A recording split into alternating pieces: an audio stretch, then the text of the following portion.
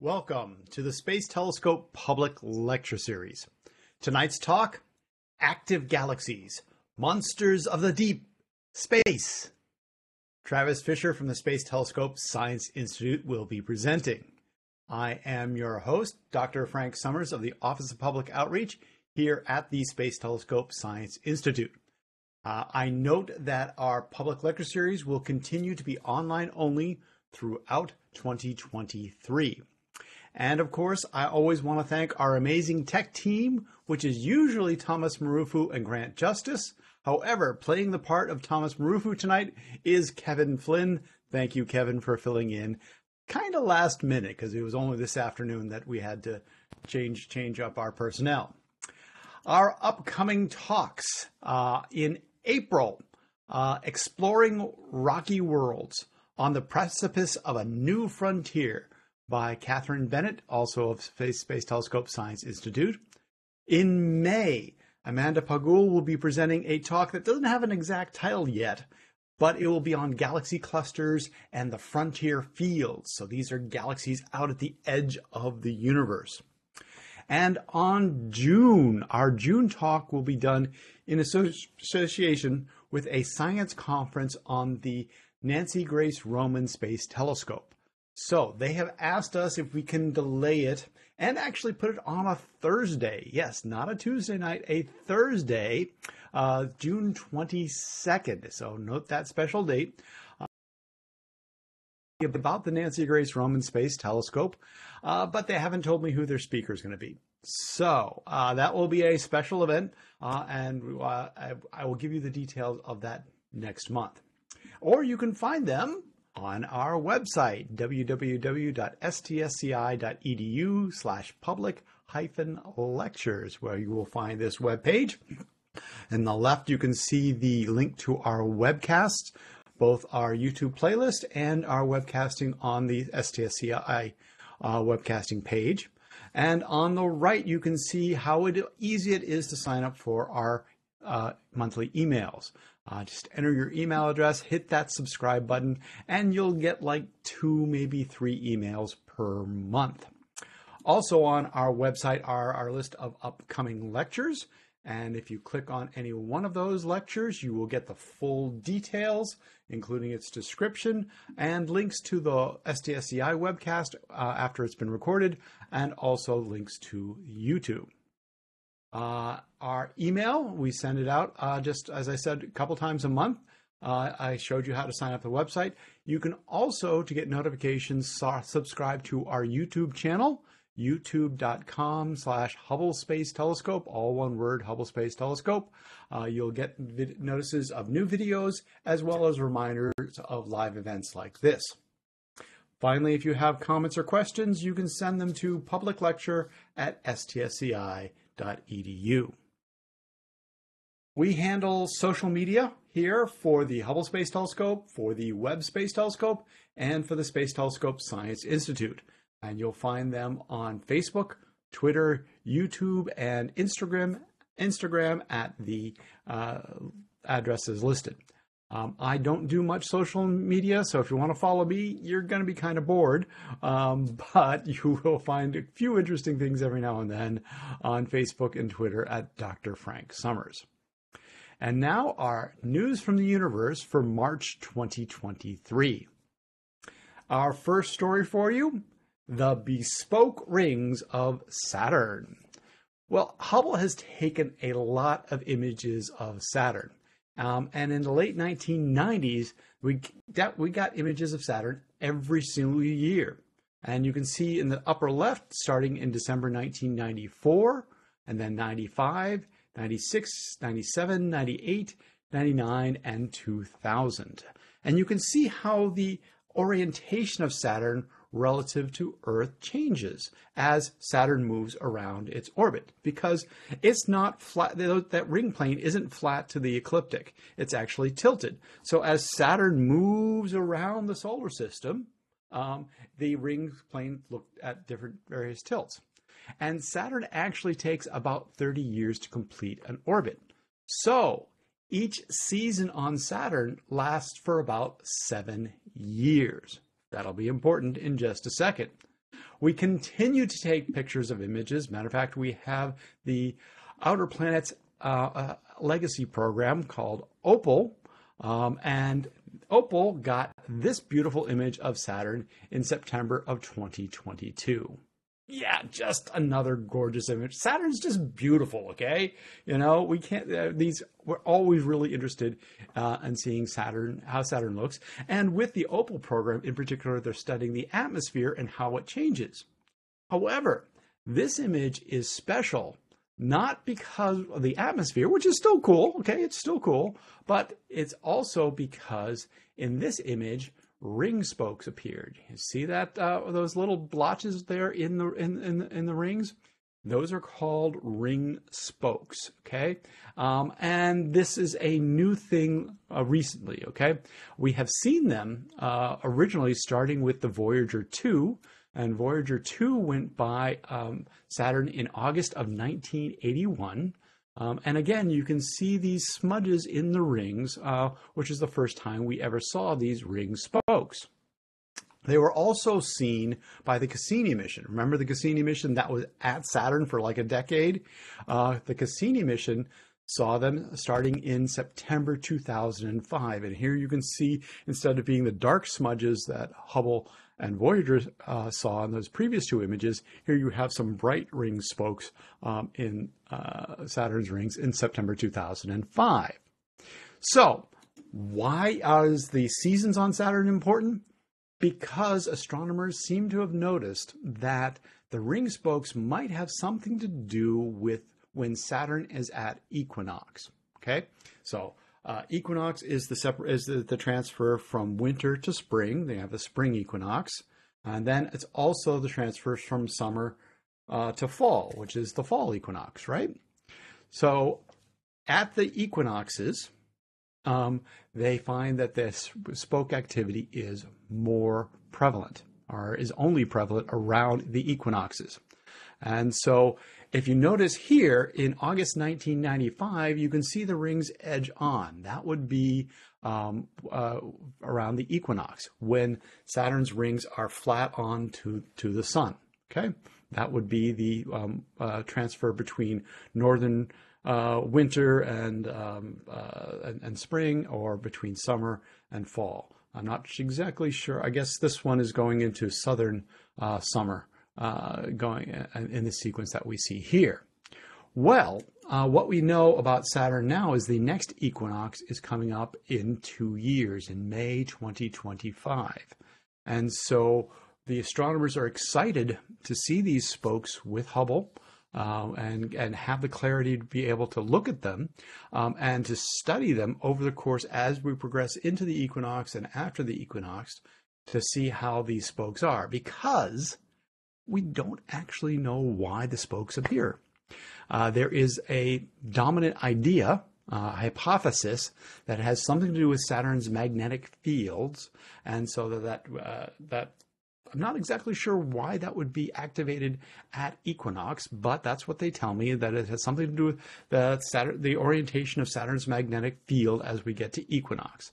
And so they're going to be looking at Saturn carefully over the next several years to see if they can test this hypothesis and what they can come up with as to what are the reasons that these spokes appear and that they seem to be seasonal in their appearance.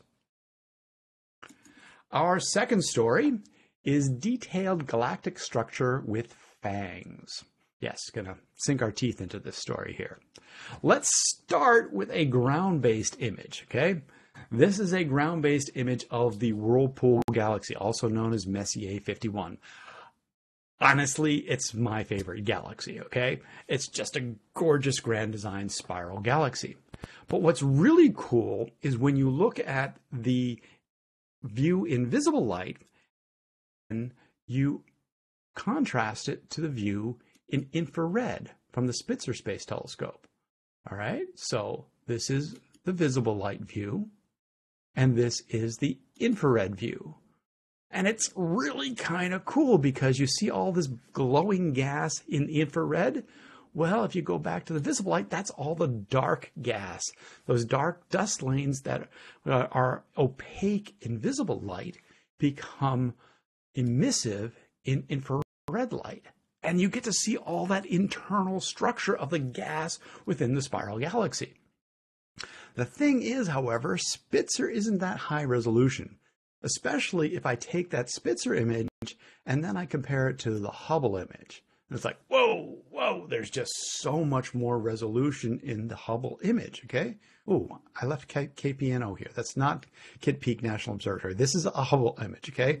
Oops, my bad. Um, but here's the Spitzer image, and there's the Hubble image, and the Hubble is such higher resolution. Wouldn't it be really cool if we had an infrared telescope with the same resolution as Hubble to see the same those structures in this kind of detail? And of course, you know where I'm going with this because we have the James Webb Space Telescope up there now. But first, I need to tell you a little bit about the PHANGS survey, okay? So the PHANGS survey started out at the Atacama Large Millimeter Array, ALMA, ALMA. All right, it started out as a survey at ALMA to look at nearby spiral galaxies. Um, that says physics at high angular resolution in nearby galaxies. Okay, so the NG is nearby ga- uh, NGS is actually nearby galaxies. Got to get that S in there. Um, and ALMA is good as a radio sur- survey of looking at the um, carbon monoxide molecule, which traces the cold star forming gas. Okay. Uh, and they looked at the gas disks in 90 nearby spiral galaxies to really start to underlook it. Then they said, let's contrast that with observations from other telescopes. So they did the PHANGS MUSE program.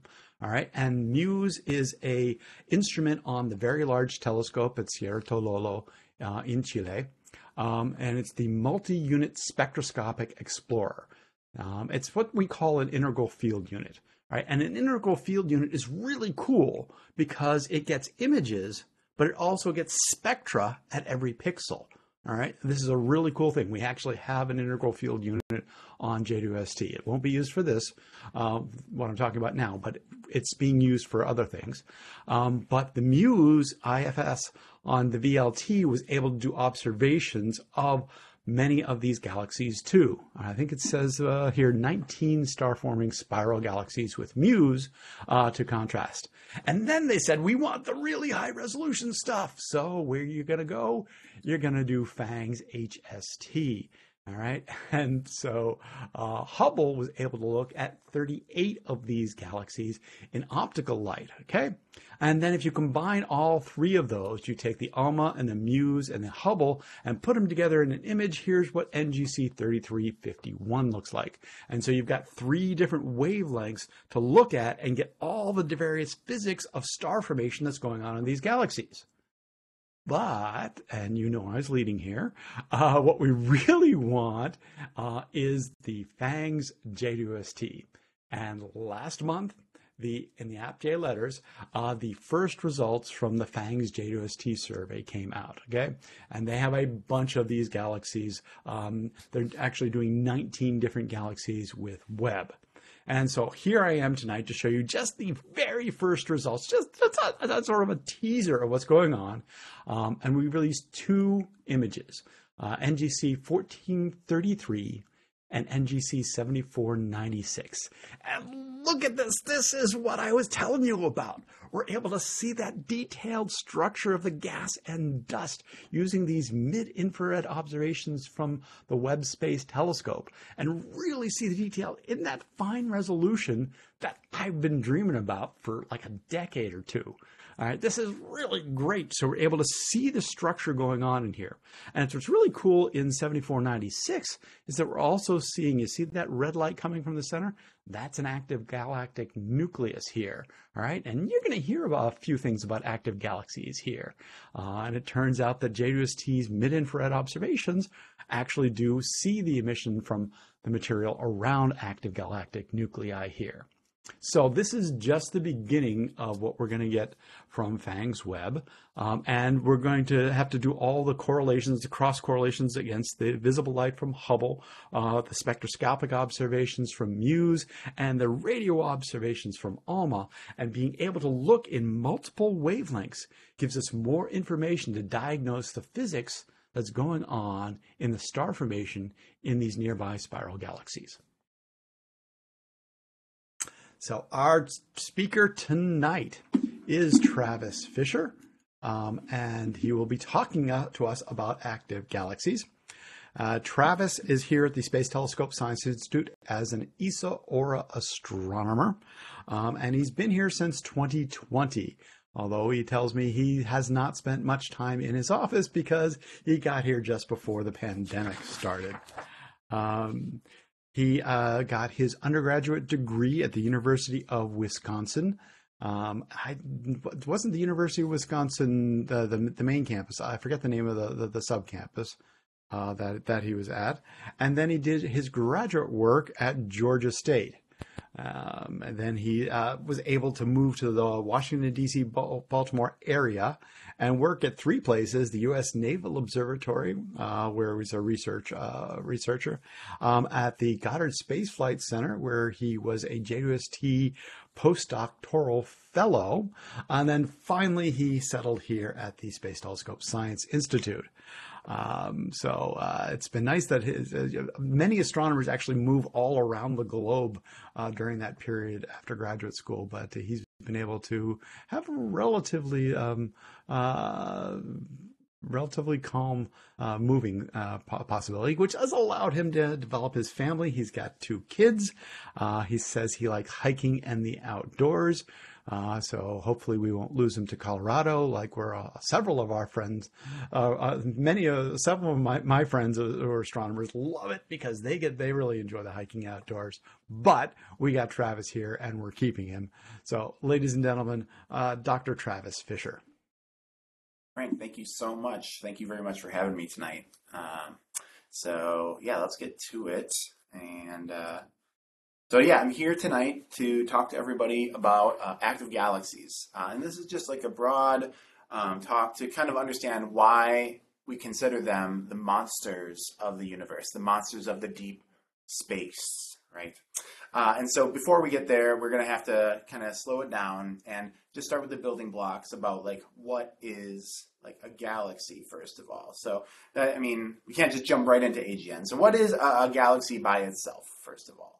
And so um, a galaxy uh, is going to be just a cluster of star, of billions of stars, billions of stars, uh, and, and some, some gas and some dust that's all held together by gravity. So these are uh, Hubble images of a, of a bunch of nearby galaxies as part of this LEGUS survey.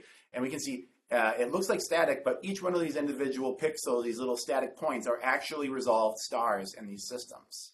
And we can see that most of the space here is actually uh, empty, but then each one of these little pixels that we're seeing little granulations from, those are individual stars that live in these, in these uh, little communities.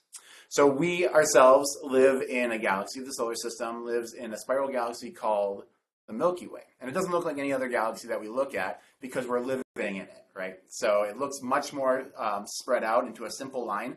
And so here is the image that we usually take from Earth, if you're looking up in the night sky, is what you would see. And then below that is going to be a cartoon of what we think the Milky Way looks like today. And so you can kind of put yourself in perspective here if we, um, how it looks in the image and how it looks from the cartoon, is we can just do like a 360 around the cartoon and get an idea that uh, and the entire line that you're seeing in this image of the Milky Way is 100 or 360 degrees around us. Um, and so, galaxies uh, at the center of every galaxy, or at almost every galaxy, but we're pretty sure they're in almost all of them, is a supermassive black hole. And so here is the image of the black hole, the supermassive black hole that lives in the center of our galaxy. We've named it Sagittarius A star because we like naming them interesting names. And so this is a, an image um, taken from the Event Horizon Telescope uh, not too long ago. And so this is what we um, are going to be focusing on, these supermassive black holes that live at the centers of galaxies. so a lot of every galaxy has one of these supermassive black holes, and so your question the question would be like, are what is a black hole itself? What are these objects that we have that are going to be the, the basis of this talk today? And so to confirm, um, they are not a wormhole. They are not a portal. They're not a time rift. They're not some sort of um, gateway to another dimension. It's uh, often you see this sort of like tear in the space-time continuum and have people able to travel through them in science fiction or, uh, and so what we want to confirm right now is that these things, these black holes, are objects. All right, they're just like everything else that you would expect to see in the universe. They're just like planets or horses or gallons of milk. Um, these are objects in the universe that exist, and uh, the only real difference between a black hole and everything else that exists in the universe is that black holes are extremely compact. Okay, so uh, let's try to come up with some sort of quantitative or maybe a qualitative uh, comparison of how compact black holes are. So here's a, a, picture of a very massive star. This is an A-type star, much more massive than our sun, about uh, eight times uh, the mass of uh, the sun that we live around in the solar system. And so when a more, uh, massive star like this ends its life cycle, it's going to explode and it's going to form a black hole. But the black hole that comes from the, this explosion is not going to be the size of that, uh, that star. It's going to be much, much smaller. In fact, if we try to measure what the event horizon is, or the, the edge of the black hole that we define, it's going to be about 30 miles in diameter. And so, uh, for reference, that's maybe the distance to drive across Rhode Island. Okay, so uh, black holes on the stellar mass side are incredibly small uh, for how much mass is packed inside one of these things.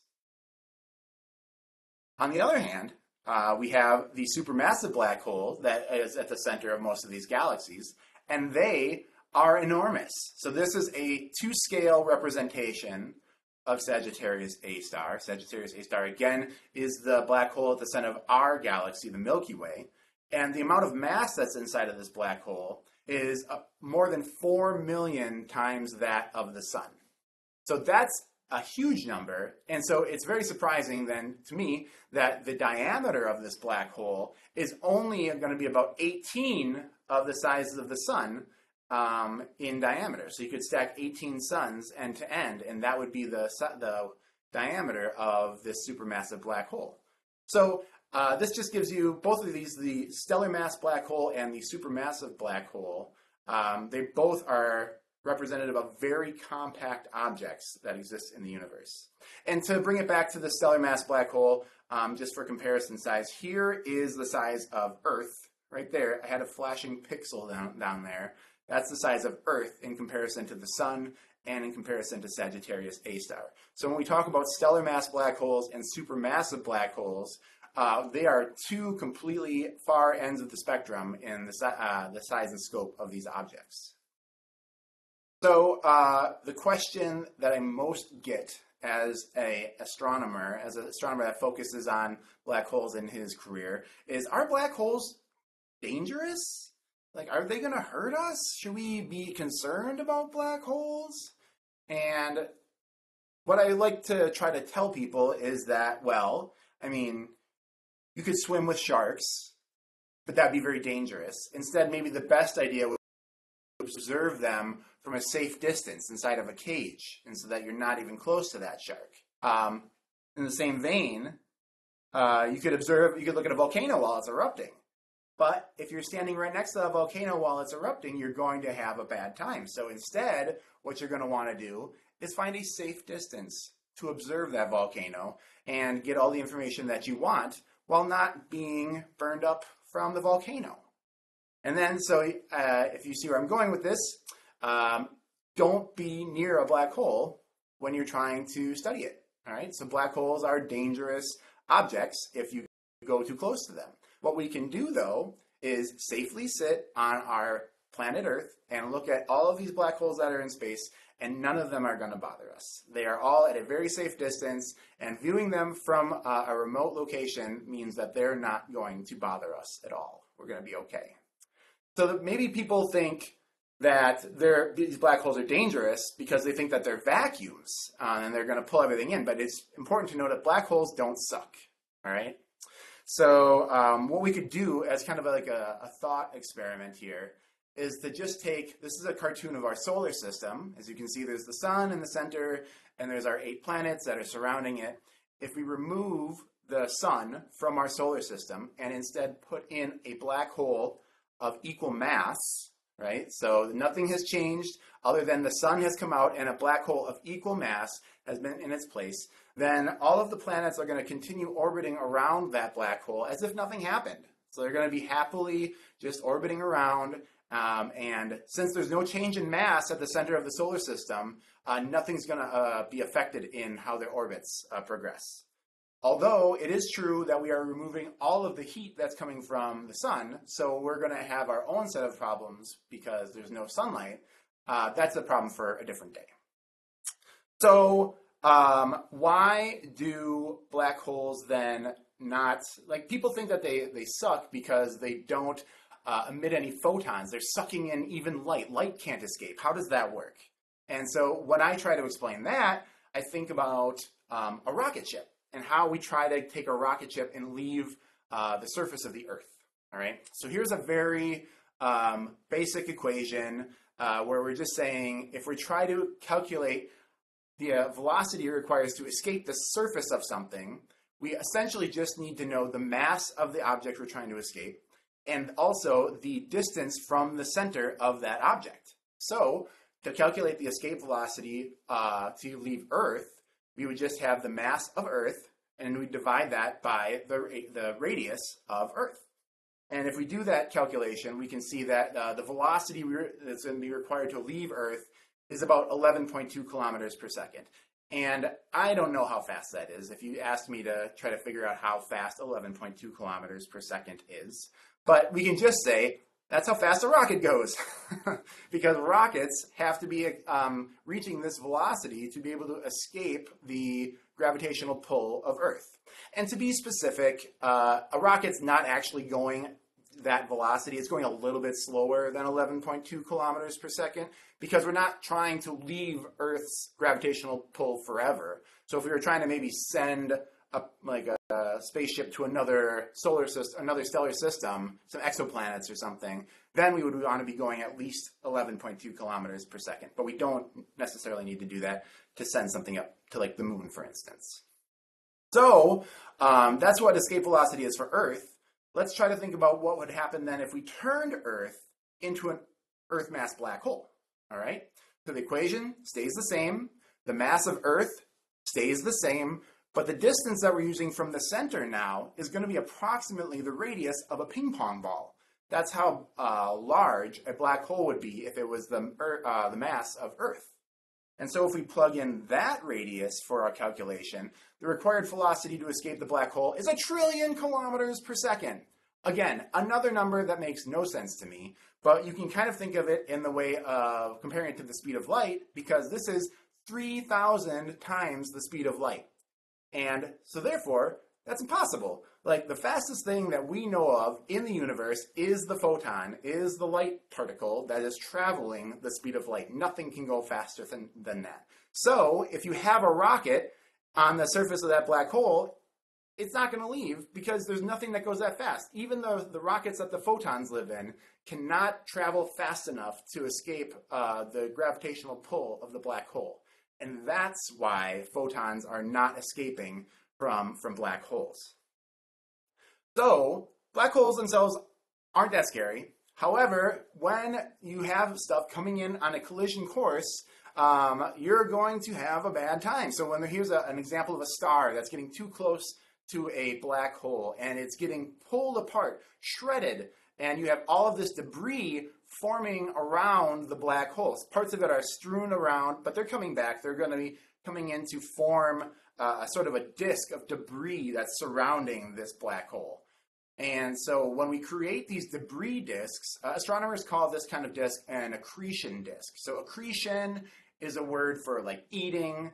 Um, and so the black hole is eating this matter from the star or from a gas lane or whatever, and it starts spinning around the black hole. And as it's spinning around that black hole, as it's spiraling down the drain, it's heating up. So if you rub your hands together, your hands get warm. And so you can imagine that the dust and the gas and the debris that's spinning around this black hole is rubbing its hands together so fast that it doesn't produce just heat, but also UV rays, X rays, gamma rays, a flood of radiation.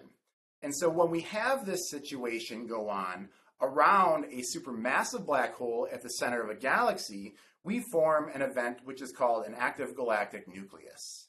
And for short, we just call that an AGN. And AGN are uh, the monsters then, the, the giant dumpster fires that we're trying to understand that are wrecking the environments that they live in.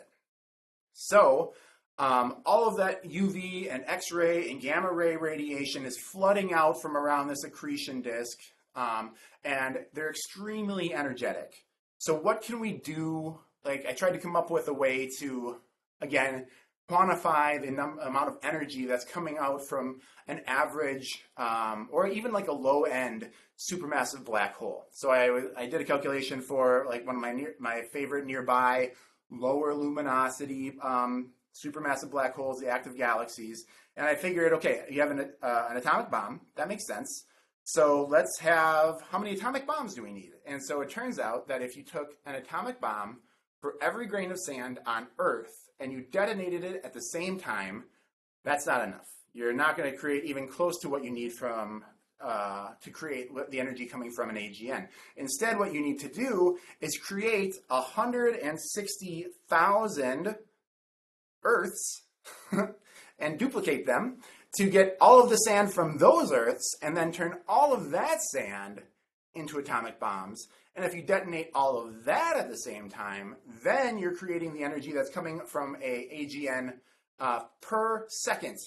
So the amount of energy that's coming out of these things is enormous. It's just crazy big. And so the question then is if there's all of this energy that's coming from this very small object and the accretion disk surrounding it, like uh, what does that energy do? And so um, to come up with a kind of a comparison, uh, like with something that is not necessarily astronomy related, I was watching the show uh, Chernobyl, and so this is a show on HBO. Uh, spoiler alert: Chernobyl explodes, and so there there's a scene where there's a lot of folks watching from a great distance. Uh, and they're looking at the explosion, and they can see that there's this bright blue beam of light that's shooting up from the um, where the disaster is happening and they're saying, wow, it's so beautiful. And so what's happening in this situation is that the radiation that's coming from the uh, reactor meltdown is flooding up into the atmosphere and it's frying the air molecules that are it's stripping electrons off of the air the atoms that are up there and it's called ionization and so uh, i'm pretty sure it's blue then because the most gas that is in our atmosphere is nitrogen and so the blue color is coming from the majority of the gas being nitrogen, and that's the color that is most going to be going to be most dominant in the ionized gas uh, of our atmosphere.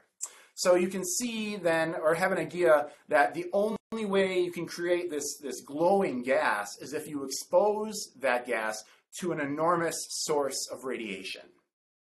So we see then a similar process um, happening in all of the AGN that we look at. So here's a, a nearby active galaxy, uh, and we can zoom in to where the, the nucleus is. Uh, and so we can take a, and so um, here is then a picture using the uh, Muse cube, Muse field. So this is what Frank was talking about earlier. This cutout is the Muse field uh, for this specific galaxy.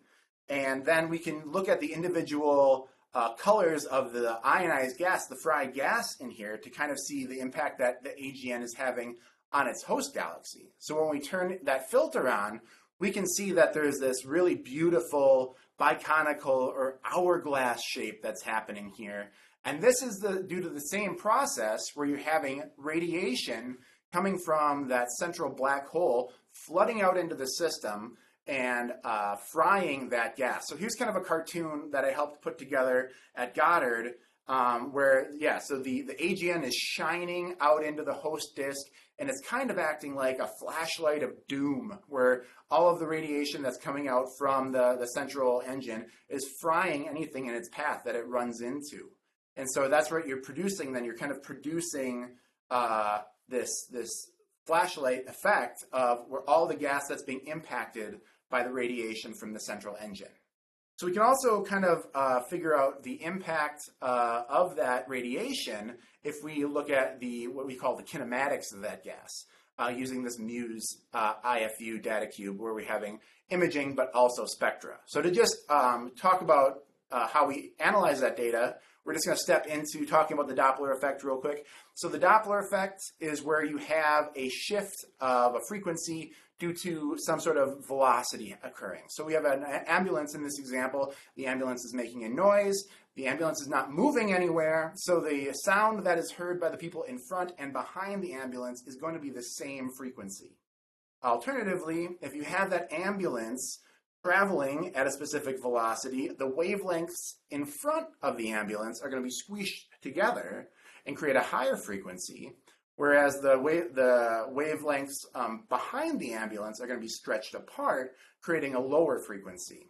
So the, the, best way to do it is just thinking about like a race car coming towards you, right? So it's a higher pitched sound coming towards you, lower pitched sound going away.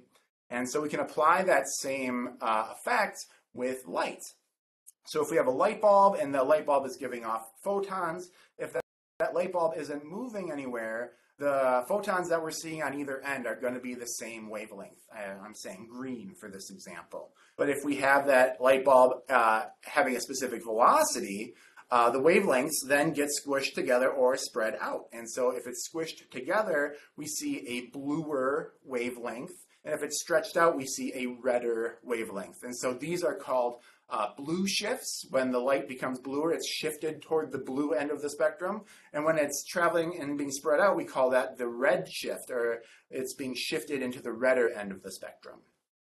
Okay, so we can use that idea of blue shifts and red shifts um, to equip ourselves to understand the data that we're going to look at right now then. So we go back to our MUSE cube um, of this active galaxy, and we can look at the velocity of the gas and we see that most of the gas here is orbiting the center of the galaxy.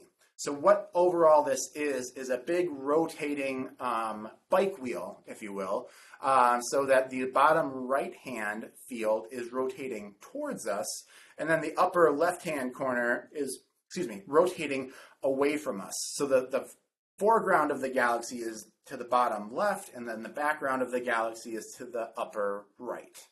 So this is most of the gas that's happening in the galaxy. This is gas that is maybe attributed to stars that are uh, in the host plane that are rotating around. But then we can also isolate just what the ionized gas is doing, the gas that is being fried by the active galaxy, and we can see what's happening with those kinematics as well. And so uh, we see then here, the AGN is driving the ionized gas out of the galaxy. So instead of our rotation curve here, now what we have is a radial motion, which means it's going from the center, traveling out like along a radius or a spoke and in a wheel. And so you can see that the gas, the fried gas in the upper right-hand corner is being driven toward us. Uh, and then the gas in the bottom left is being is redshifted and being driven away from us. So what you kind of have happening here is the flashlight is running into that plane of the galaxy, and then the gas is running into that and then kind of hitting a dense patch and maybe popping up uh, and splashing upwards. So you guys can maybe think about like that movie with the Little Mermaid, and she's on the rock and she's singing, and the wave comes crashing up behind her um, because the wave has hit that hard, dense uh, medium and is splashing up uh, to create that um, that displacement out of the plane. And so that's what we're kind of seeing then with this gas being driven out of the plane of the galaxy. And so um, besides also noticing what the red shift and blue shift of the galaxy, uh, the gas is, we can actually measure the velocity of this gas. And so when we look at how much, how red shifted or blue shifted that gas is, we can measure that the gas is traveling roughly 300 kilometers per second. Uh, and typically it can be greater than that.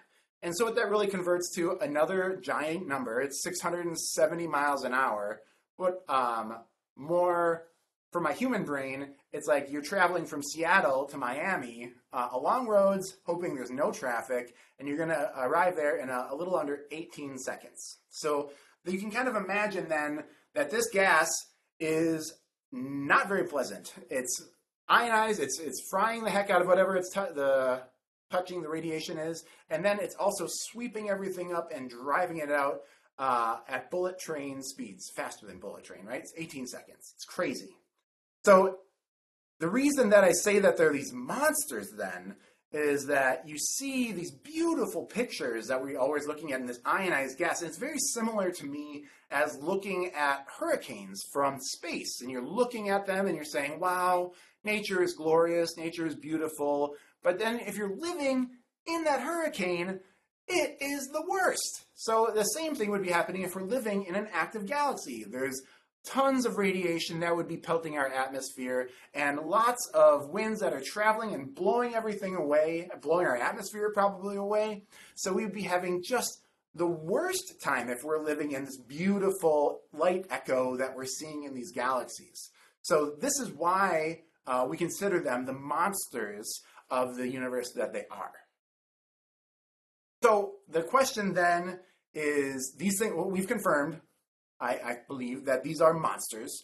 Um, and so, how do these AGN affect their galaxies? And we're still trying to figure that out, right? So, I mean, we have a general understanding of what's going on here, but we're not really sure how it's impacting the host galaxy. What kind of effects does this have?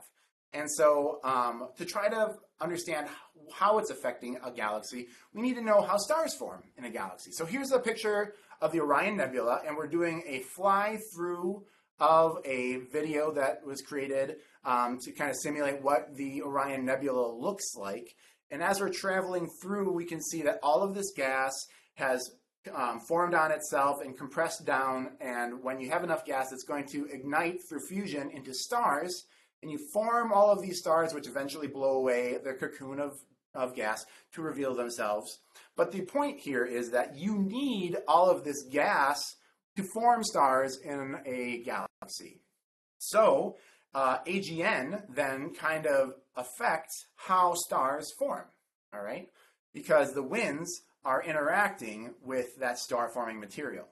So the way that I connect what's happening in a galaxy to my brain is then by trying to compare it to maybe what the um, the, the physics that you see in a sink at home when you turn the faucet on, right? So you turn the faucet on, sometimes you have this water that's hitting the bottom of the sink and uh, it pushes it outward until you get to this like ring, this barrier, where it, uh, this pressure ridge or whatever.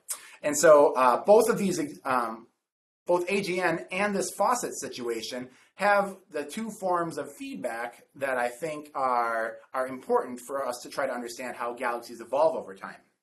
The first one being that AGN can remove gas at small radii to prevent star formation. So you have these winds that are traveling, the radiation is running into the gas and it's pushing it outward uh, and removing any sort of uh, gas that exists at these small radii. And that means you're preventing um, future stars from forming because you're removing the nurseries. You're, you're not allowing any gas to exist there from star which stars can form from. And so what we call this is a, we call it a negative uh, feedback scenario. Where we're removing the potential for star formation. Um, also, at greater distances, uh, the wind, the driving effect is not going to be as powerful in these uh, galaxies. And what we are then seeing potentially is that the gas is being pushed together. And so that is being compressed um, at greater radii, greater radii and then when you're compressing the gas, you're kind of giving the stellar nurseries like a head start or pressing like fast forward, right? Because you're pushing the gas together and making it easier for those stars to form um, at later epochs. So when you're then promoting star formation, this is called a positive uh, feedback situation. So um, we're trying to understand both the positive and the negative feedback situations, and we're um, going to be using James Webb. James Webb is fantastic for revealing the new dimensions, or several new dimensions, of AGN astronomy. Um, and so we can just talk about real quickly what those dimensions are, but Frank did a very nice job of uh, summarizing some of them earlier as well, so I might be repeating uh, him a little bit here. But uh, the first one is that um, we're seeing a new dimension of space. All right, so um, nearby galaxies, if they're emitting light in the optical, we Hubble got you. Hubble can see that emission um, from these nearby active galaxies in the optical, and we've learned so so much about how uh, active galaxies, regular galaxies, um, anything in the nearby universe happens to operate in the optical. But as you go to greater distances away from Earth, the universe is always expanding.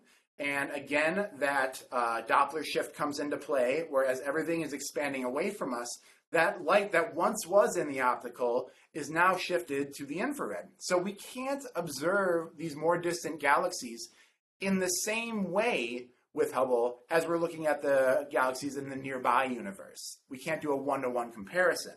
So if we include uh, observations from the James Webb Space Telescope, we're now able to be more sensitive to the infrared light that has been redshifted and is representative of the optical light that is coming from the more nearby galaxies. And now we're able to have that one-to-one comparison to see how do how does the universe change from these greater distances to the more nearby universe? Well, this one has more emission of this hydrogen line that we see um, than at the galaxies that are nearer nearer to us, right? So we're able to make this comparison um, between the optical nearby universe and the infrared uh, universe at greater distances.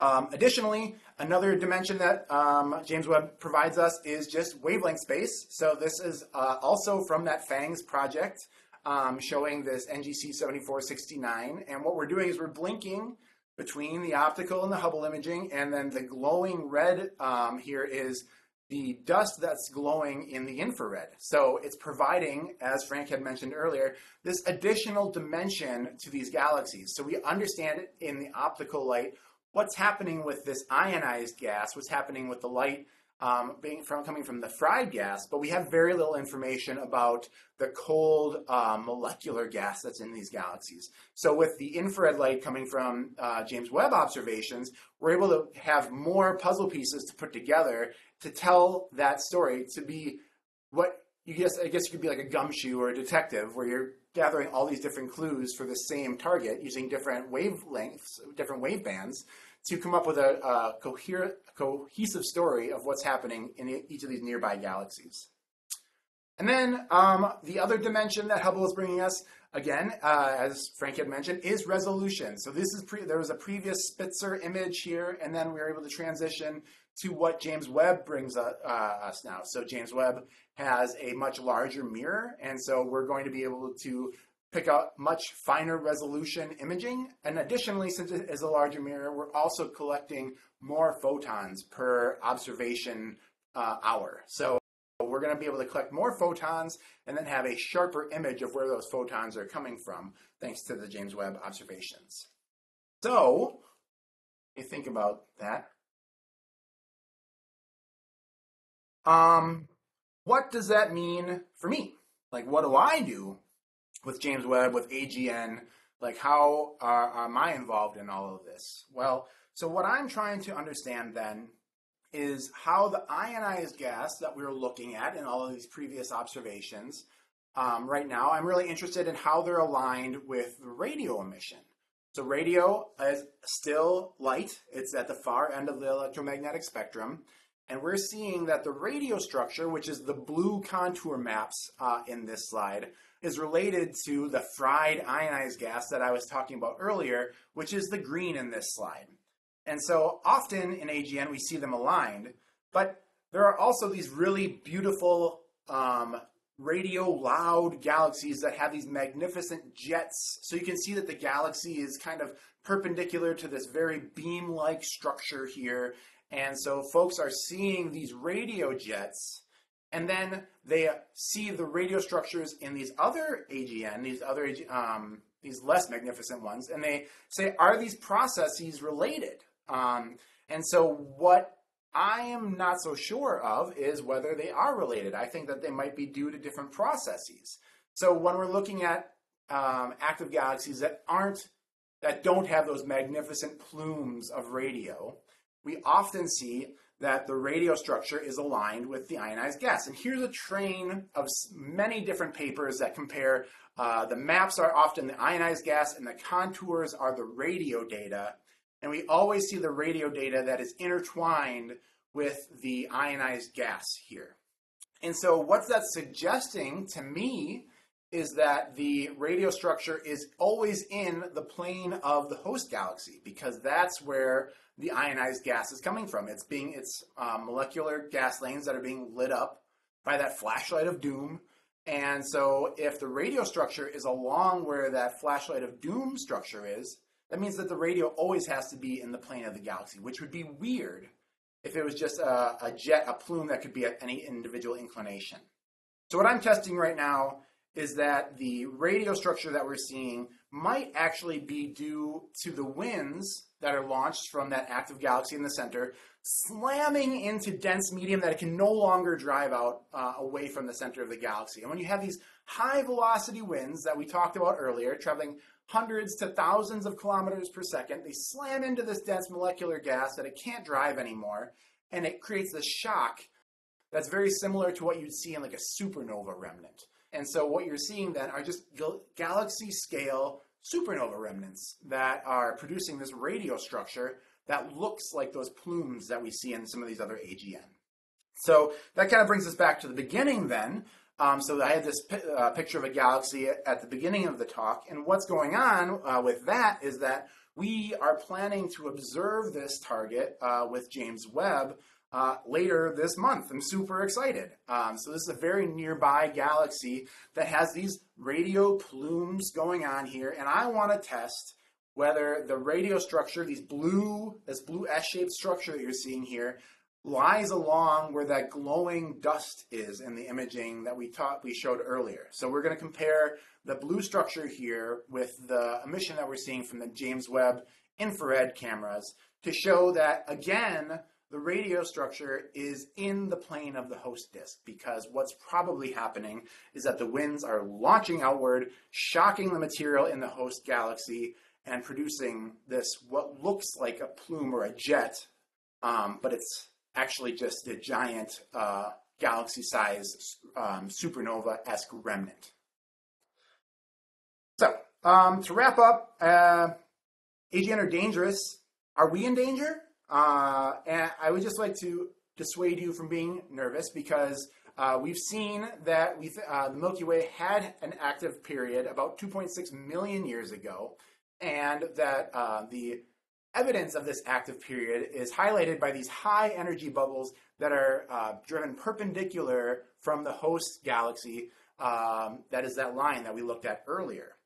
So here's kind of an a, a animation of what's happening here, right? So here again, the, the radiation field that's coming from the active galactic nucleus in the center is pointed out of the plane of the galaxy, and we're probably not going to have to deal with any of the massive amounts of radiation that would be pouring out of it as it's, it's pointed out of the plane. So we're probably relatively safe.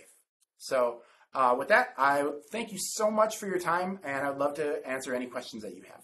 Thanks again.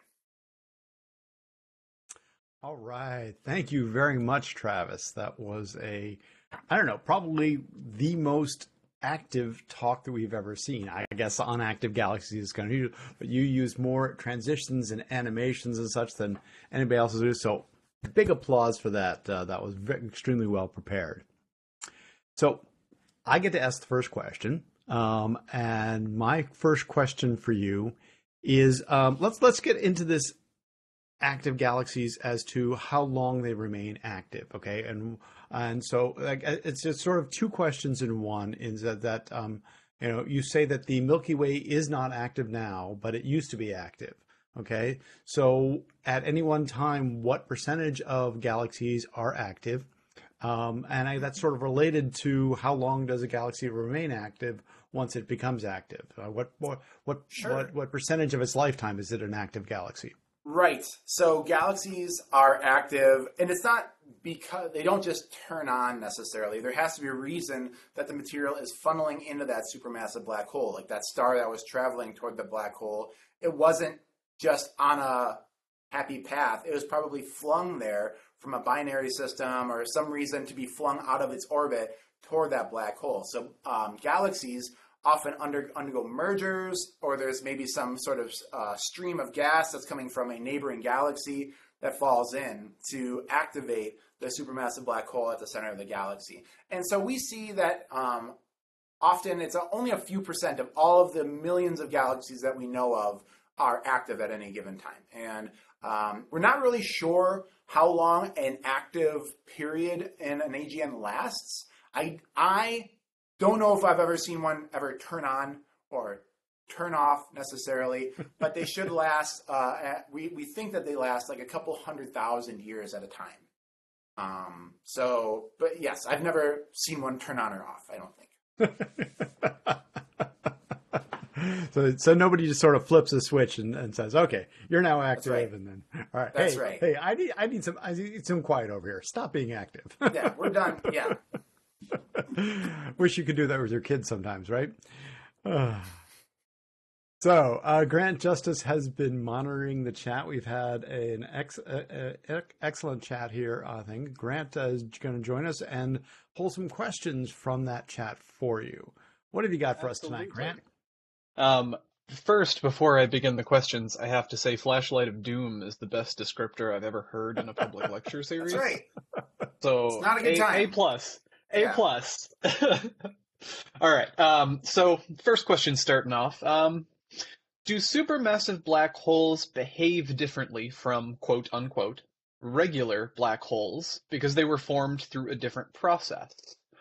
Well, uh, we don't know how supermassive black holes form. So um, that would be uh, a good question or a good answer to figure out, first of all. But um, no, uh, any black hole essentially has a mass, a mass, and uh, a spin, how much it's spinning. And I think that no matter the mass of that black hole, those are the two parameters that we really only we know about the black hole. So, I mean, there's been a lot of work to try to understand. So you see, like the stellar mass black holes are often eating material from uh, a binary star system. So it's a black hole uh, and a star companion, and so it's eating the material off of that stellar companion and creating an accretion disk, and there's material flying off of it. And we try, we want to be able to relate that to what we see in AGN, but it just hasn't clicked so far. So it's just the environment is just a little different um, between the two um, that we can't really compare the science that's going on between them. But they, Okay. they are relatively the same object. Right. And uh, if I remember my graduate school work, there were three parameters a black hole could have: a mass, spin, and charge. But they're so they're so large that they generally would never ever get an, a positive or electric or negative electric charge. It would all balance out. That- That's what I remember. Gotcha. Um, so at the beginning, you mentioned that black holes are very much not as you would expect from the Hollywood depiction per se. Um, but what does happen to time near Oh or my gosh. in per se a black hole? I mean, you knew it was coming. You knew. Come on, Yeah. Travis. You know that questions like this are going to be are out there. Yeah, I mean, I don't.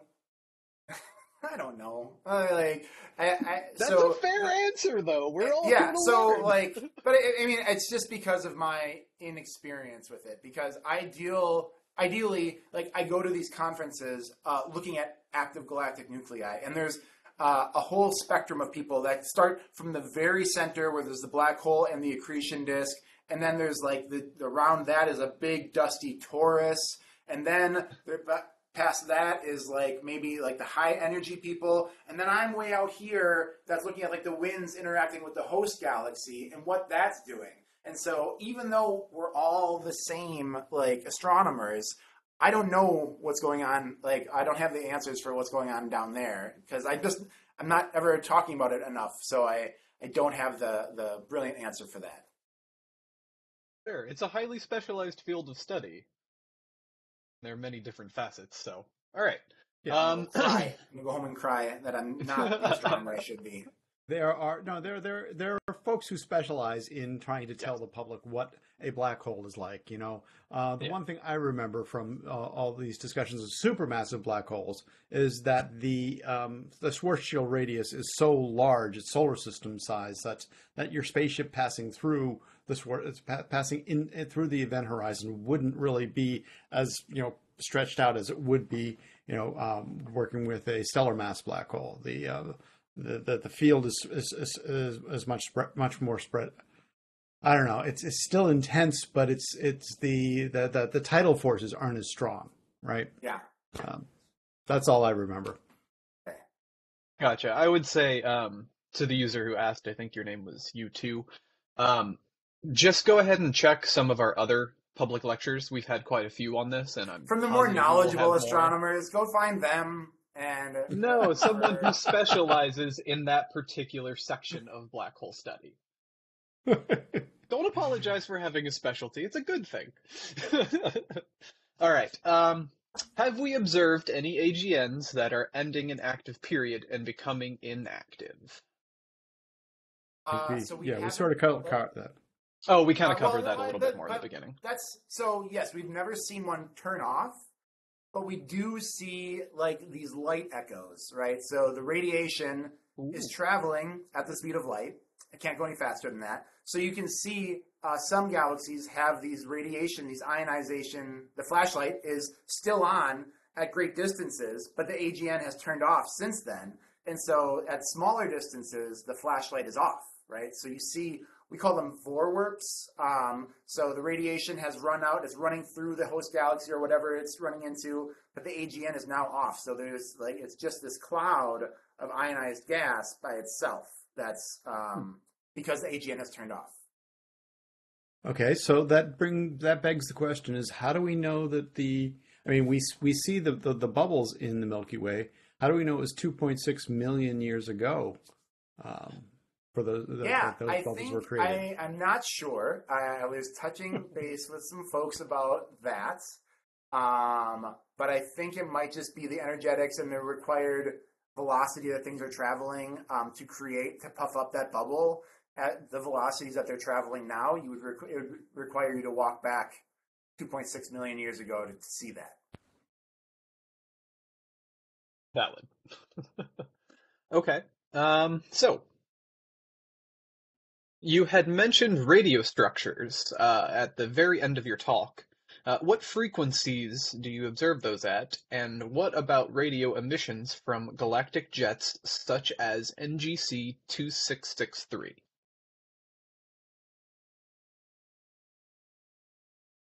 I'd have to go Look on up Google. NGC No, 2663 2663. Yeah, what look that up. that one specifically? On, NGC. But I mean, this relates to things like um, Hercules A, or you you mentioned It's an Centaurus. elliptical galaxy. Okay, got it. So, um, an, an elliptical galaxy, uh, there are these structures, and I showed them in that image of Centaurus A. You have these radio jets, and the radio jets come from are prominent in what are called radio loud AGN. So while AGN only are a few percentage of all of the galaxies in the universe, radio loud AGN are only a few percentage of all of the AGN in the universe. And so you have these environments where you're producing these very long plumes, these jets, these radio jets of relativistic plasma. This stuff is traveling almost the speed of light, and you can measure like the it um, traveling at these relativistic speeds when we observe them over time. And so the point that I was trying to make then is that uh, in a lot of these radio quiet AGN, which is the majority of AGN that we study, we also see radio structures. And so uh, folks see these elongated radio structures and they say, boom, that is also a jet because I know what a jet looks like and it looks like that. So, um, but what I'm trying to uh, show or confirm or find evidence to deny, I mean, test, we're just testing it out, is to find out if that radio structure is not a jet, it's actually a shock process similar to what you're seeing in the supernova remnants. Okay, so you have the winds that are running out from the center of the galaxy. They're running into host disk material, shocking it, and producing that radio structure as kind of like a splash along the edge of that dense molecular gas lane. So the a general hypothesis or test would be if these aren't due to winds running into material, there should be these jets in these radio quiet AGN that are traveling at dis- or at angles that are not aligned with the host disk. But every single galaxy that I've looked at that um, that we I showed in that uh, train of images always shows that the radio structure is aligned with the ionized fried gas, which means that it's always in the plane of the galaxy. So um, NGC 2663 is an elliptical galaxy. I'm presuming it's radio loud, and it doesn't have any sort of gas to be running into, and it probably has a pencil beam radio jet. And that is not the same then as what we're seeing in a majority of these AGN. And so right. why is that important? Because then we can start measuring the amount, the, the distance at which positive feedback, where you're compressing that gas, the maximum amount of, uh, the maximum radius at which positive feedback uh, exists.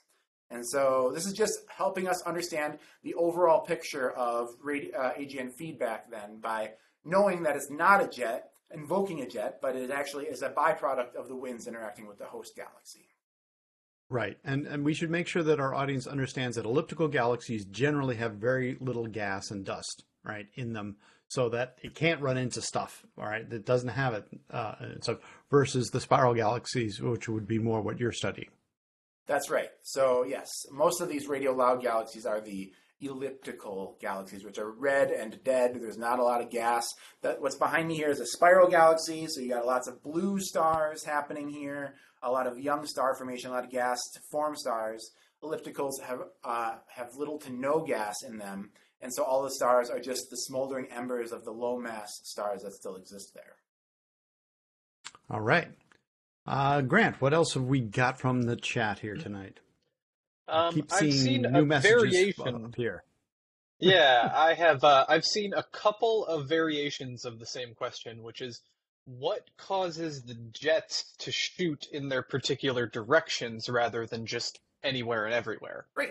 Yeah. So w- what we think is happening when you're creating a radio jet is that so we have seen the accretion disk. Let's actually kind of go back. Can I play my slides a little bit again? Yeah, Absolutely. No, no problem. Uh, start your screen share again. Yeah.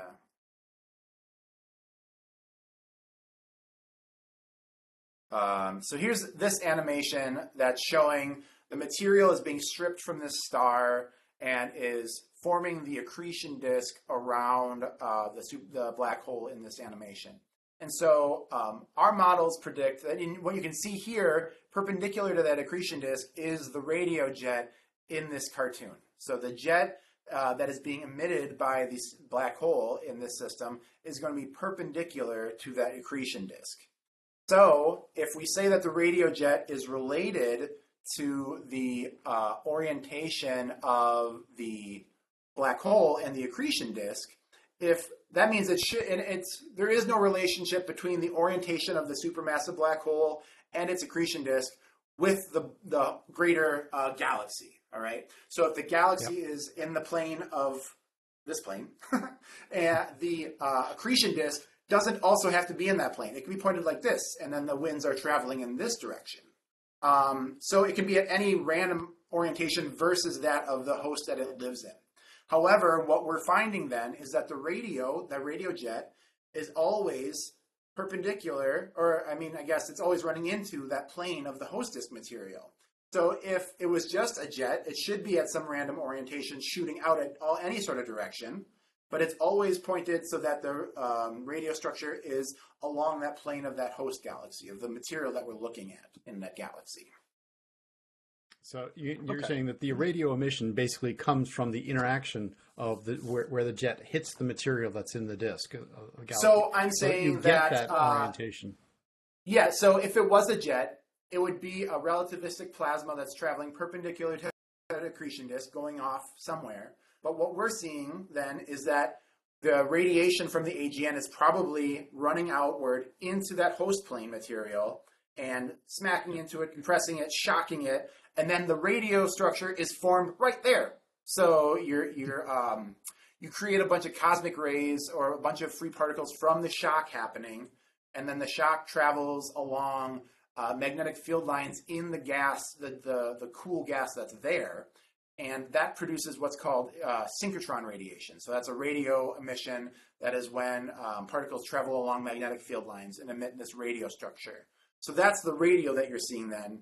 And since you're forming that splash along maybe like a spiral arm or some sort of dust lane, that splash looks like it's called collimated. It's, it looks like it's collimated like the beam of a jet. So that's why people say, oh, that looks like the jet that I'm used to looking at. Um, but what it is, it's a red herring in that sense, is that it's, it's Hmm. not actually being collimated. So, I mean, that that's an interesting point of view. Is that the uh, interesting point to make that the radio emission happens where the energy is gets deposited into the material that it runs into.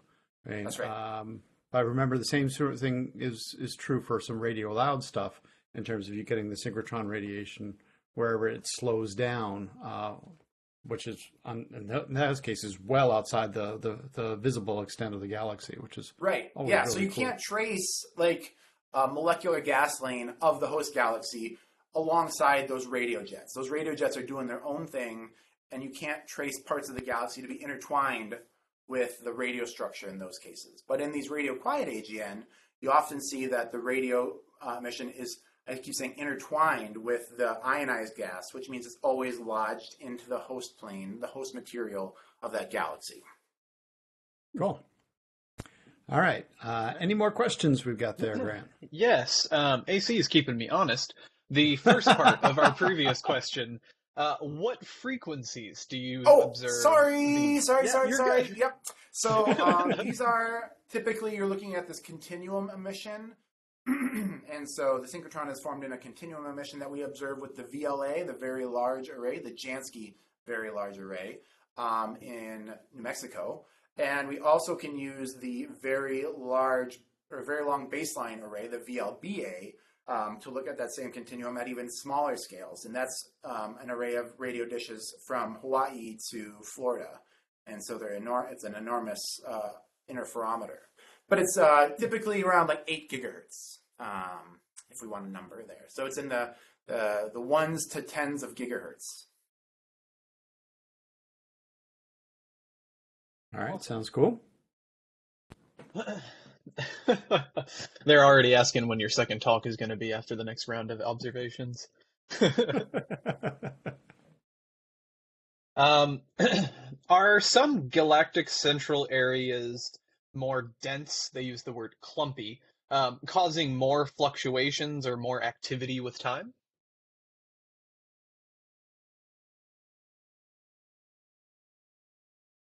Um, sure.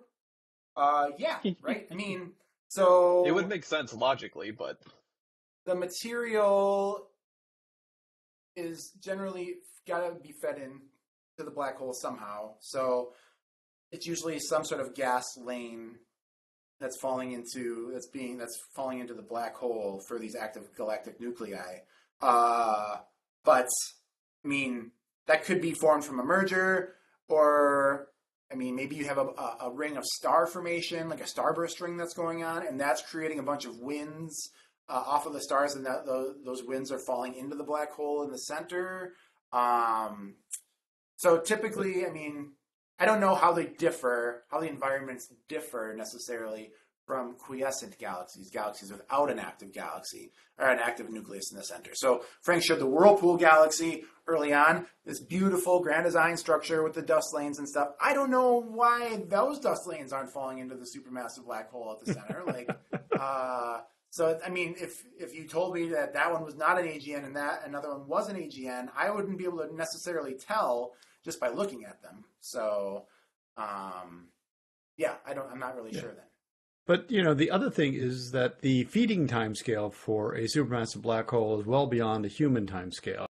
So, I mean, I guess there is sort of a record of the feeding uh, in the jet, right? As you said, it takes time for that jet to propagate, or the the, the energy to The propagate radiation, out. yeah, the radiation the coming from that radiation central to prop out. engine. And so, if it had an especially active time of feeding, then there would be an especially intense region Oh somewhere man, out. yeah. And you talk, could like, we- There's been some yeah, work could on you- that.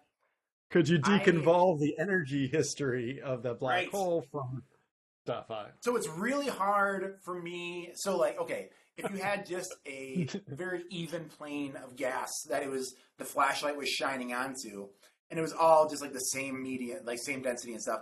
If the the flux intensity like changed over time, then then you'd know like yeah, this was an active, more active period where it was like flaring, and then it was less active here. But the the surface that you're shining on is just so irregular too that it's really hard hard for me to try to like pull out where it was brighter and where it was fainter. But you're right. Yeah, I mean, if you were able to do that, you could see how what the activity of the AGN was like over time. Like, oh, it was eating a bunch of stuff at this period, and this gas is a lot brighter than it should be next to than the gas next to it. Right.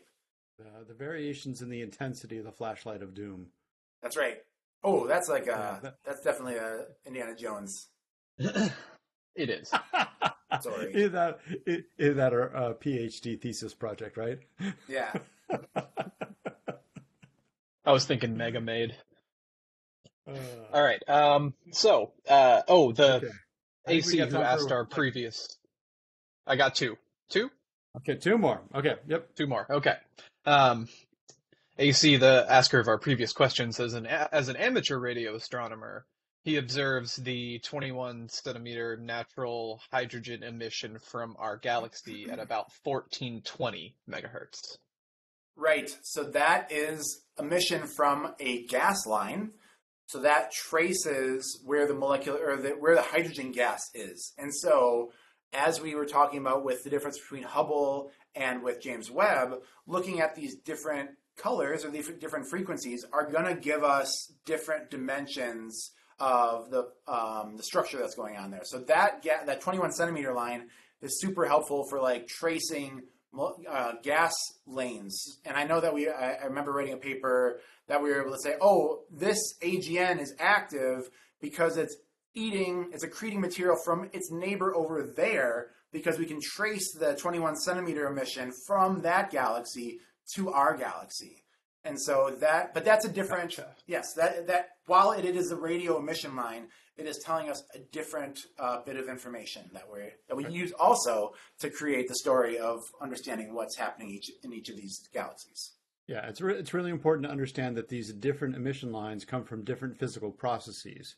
Um, you know, simple to understand that um, you know, uh, temp- gas at three thousand degrees emits one emission line. Gas at ten thousand degrees emits a different uh, emission line. Uh, same thing happens in the radio uh, in terms of uh, the different radio emissions. And it doesn't have to be different wavebands either. Like in the infrared with James Webb, you're looking at m- like warm molecular gas, which is like a couple hundred degrees Kelvin, and the, there's emission lines right next to it that is like quintuply ionized nitrogen or neon or something. Like, and it's right there next to it. So, like, if you look at those two different lines, they're going to tell you completely different stories, even though they're almost the exact same wavelength. Right. right And, and, and as we emphasized, it's the underlying physics that you're getting a, a handle on from the, the various things that you were That's right. observing. Okay, you said you had one more, Grant? Yes, yes. We always get one snuck in really good question, and I'm going to end on this one. Okay. How have you found ways to keep astronomy real and grounded for you? I found it can become academic over time and kind of lose its magic. Um, so I always consider myself as I've alluded to a couple times tonight, like I'm a detective, I'm a gumshoe, and like I'm using all of this data from different wave bands uh, to tell these stories. And I, I'm not a survey person. I don't look at hundreds or tens of galaxies usually at a time. I look at one really hard and with uh, like in the optical and the UV and the infrared, and I use that to um, uh, glean some new facet of how AGN work and how that really um, works with all of the rest of the AGN that we look at. Right now, I mean, this radio thing is just the worst because I'm very convinced that this is what's happening um, in these radio quiet AGN. And so I'm spending a bunch of time trying to convince other people that this is the case. But I feel right now that I'm in the majority, or in the minority. So um, that is my my quest right now is to have folks acknowledge that this is potentially what's going on and how useful it would be if that is the case. Um, because then we can see, like, if we just do a radio survey of this continuum emission, we can see, uh, we can take a census of how many AGN are shocking or compressing the gas of their host galaxies for um, all the nearby galaxies. So then when people model how outflows work in AGN, they can say, well, we should have the outflows run into the host plane approximately 40% of the time because that Fischer guy found that the uh, extended radio structure happens about 40% of the time in these galaxies. That would suggest that that's where positive feedback is happening, and we'll have to incorporate that into our models. So, so that's what's keeping me going right now. Um, and so that's going to keep happening until the money runs out or something else is more attractive to me. But uh, that's how what I'm doing. That's a good that's way to think of it, though. Science. But oh, that's ahead, the fun Frank. thing about science is there's always another problem to solve. If you get bored with this problem, which you know this is quite a fun problem, I I, I must say, uh, but there's always yet other problems to go. You know, so you can just say, okay, let's cut. That's the end of this season. Let's move on to the next season of you know Galactic Detective. That's right. I, I like I like the specific work the the word that you used is quest because it just yeah. makes me think that it's not like another project it's not another thing you're discovering it's a side quest like yeah. It's, it's like here's a data set. We're going to figure out why this data set is important and what it's illuminating for us. And then we that's just part of the bigger picture. But uh, and then there's always another quest on the horizon that you're like you're finishing this one and you're like what am i going to do after this? And then you're like that one. I have to go work on that idea next. Yeah. That's all right. Well, we wish you the best of luck in your yes. continuing series of quests. Um, and you know when you when you get the answers, come on back and and let us know.